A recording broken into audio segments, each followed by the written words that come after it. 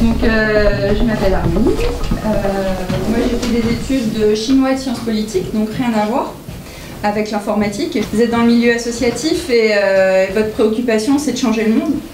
Et euh, bon, les outils, c'est bien. Et du coup, là, on se dit, super, Ritimo nous fournit un outil gratuit qui marche, donc cool.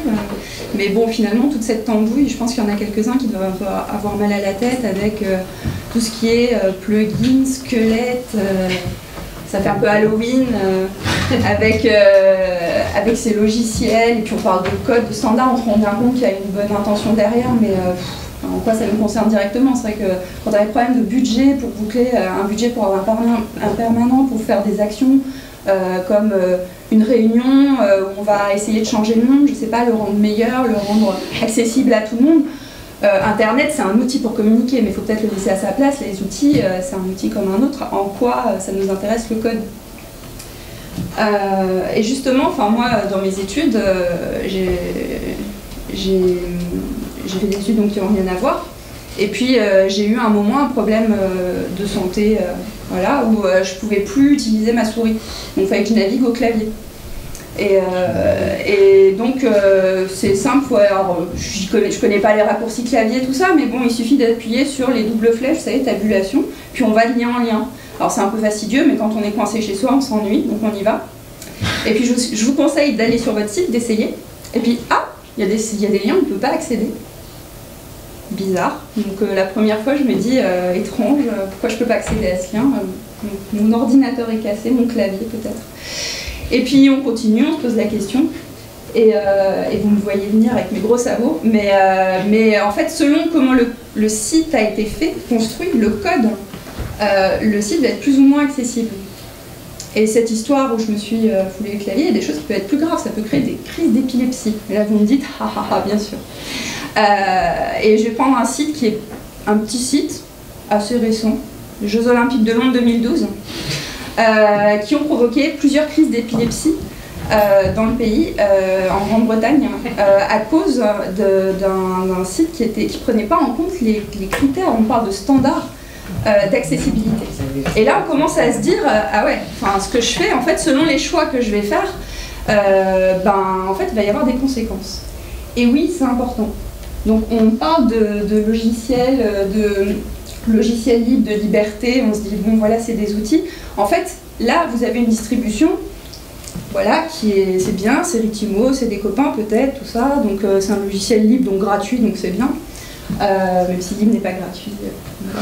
Mais euh, donc, du coup, on se dit, voilà, mais après tout, vous pourriez avoir demain une autre distribution qui offre d'autres choses, qui sont avec des fonctionnalités plus sympas, où les thèmes sont plus sympas, il y a plus vos couleurs, tout ça, et vous vous dites, bon, c'est gratuit aussi, je clique, il y a plein de sites qui font ça en fait. Donc, la spécificité de cette distribution, de ce logiciel, c'est justement le choix des technologies, des outils, des choix que vous ne pouvez pas faire tout seul.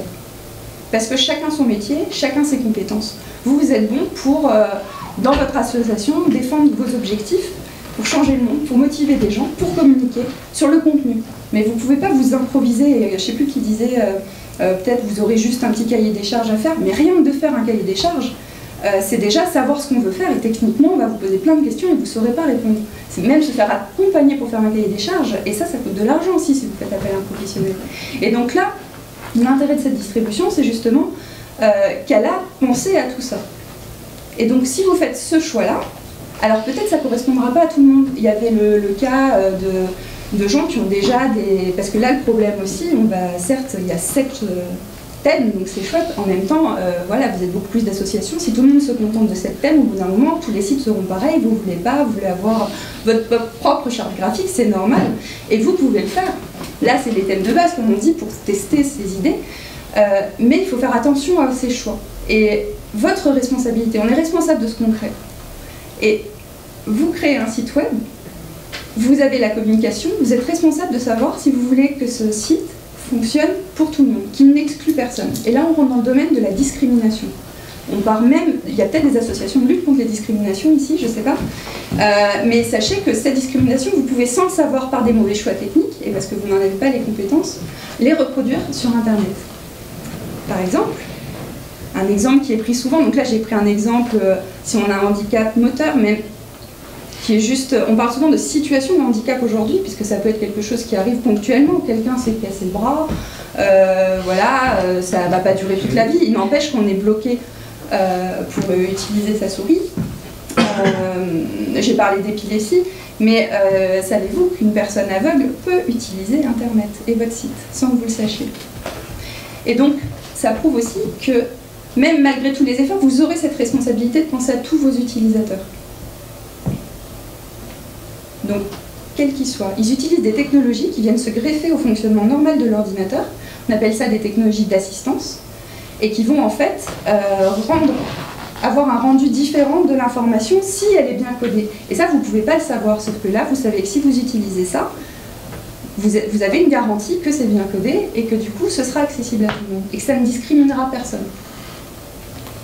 Et donc ça, c'est vraiment quelque chose, euh, finalement, on se rend compte que c'est pas si neutre. Et la technologie, elle est partout. Et on n'a pas le choix. Et sans s'en rendre compte, on peut faire de la discrimination, alors que peut-être même, vous luttez vous-même euh, contre ça.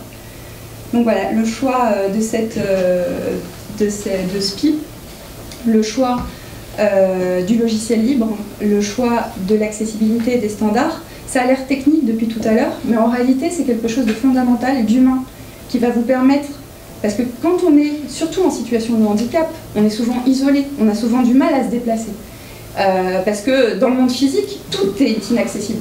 Enfin, on s'en rend pas compte, mais là, par exemple, il y a un ascenseur, il y a quelques marches pour aller parce que c'est à mi-étage. Il y a des tas de choses comme ça, il y a une marche à l'entrée. Enfin, donc euh, tout ça fait que souvent les personnes qui sont en situation de handicap vont utiliser beaucoup beaucoup plus euh, Internet parce que c'est plus facile normalement.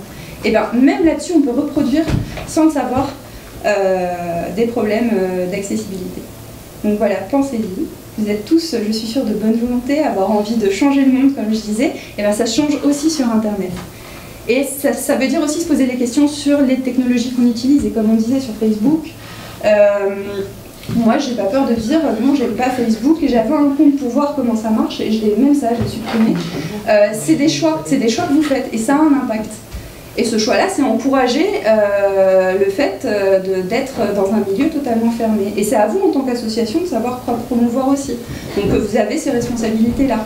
Les choix technologiques, par défaut, vous avez votre ordinateur, vous n'avez pas posé la question, souvent c'est sous Windows, cliquez sur le bleu, choisir de télécharger Firefox, c'est un autre modèle économique. C'est à la fois une fondation qu'il porte, et puis c'est un autre mode de société, c'est un logiciel libre. Et un exemple encore, euh, on parlait d'études du code source. Alors ça, euh, le truc, euh, tout le monde s'en fout. Hein. L'étude du code source, à part les informaticiens, les geeks barbus, comme on disait, vraiment, qui va aller lire des lignes de code Sûrement pas vous. et donc on se dit, oui, à quoi ça sert? Bah, Ça sert aussi en termes de sécurité. Je prends Firefox justement, et je vais prendre un autre logiciel qui n'est pas libre, qui est Internet Explorer, au hasard et les vieilles versions d'Internet Explorer. Et pour Firefox, on peut savoir comment fonctionne le logiciel. Moi, je n'en sais rien, euh, vous non plus, mais il y a des gens qui vont regarder, qui vont corriger. Des fois, le logiciel libre donne l'impression que c'est moins sûr parce qu'il y a tout le temps des corrections. Alors on se dit, bah, dis quand est-ce qu'ils sortent une version stable? Ça ne veut pas dire que les, logiciels non libres ne sont, pas, sont plus sûrs, ça veut dire qu'ils ne le corrigent pas. Et à tel point, les conséquences dans la vie des gens. Euh, une faille d'Internet Explorer 6, il y a quelques années, mais il n'y a pas très longtemps, a permis au gouvernement chinois euh, d'entrer dans les mails Gmail d'un dissident chinois et de l'arrêter, de plusieurs dissidents, grâce à une faille d'Internet Explorer 6, qui avait été remontée depuis très longtemps, qui n'avait jamais été corrigée. Ça, sous Firefox, euh, il y aurait eu déjà, enfin il y a des patchs tout le temps, vous avez ces mises à jour tout le temps. Donc si vous ne l'avez pas encore, vous rentrez chez vous, vous installez Firefox pour commencer. Vous Et ensuite, vous vous mettez à créer un site sur... Euh, voilà. Donc euh, c'est tout ce que je voulais dire. Pensez bien, on est responsable de ce qu'on crée. Et créer ce qui a l'air virtuel a des conséquences réelles dans la vie des gens. Et vous en êtes responsable. Il ne suffit pas de se cacher les yeux et de se dire euh, Ouais, non, mais je ne savais pas, c'est technique. Si maintenant vous savez, vous ne pouvez pas dire ça déjà. Et puis, si vous ne savez pas, vous avez le choix de, décider euh, auprès de qui vous vous entourez aussi. Donc, choisir le prestataire, choisir la distribution. Donc euh, vous ne pouvez pas tout savoir, mais vous avez au moins cette responsabilité-là. Voilà. Merci. Merci.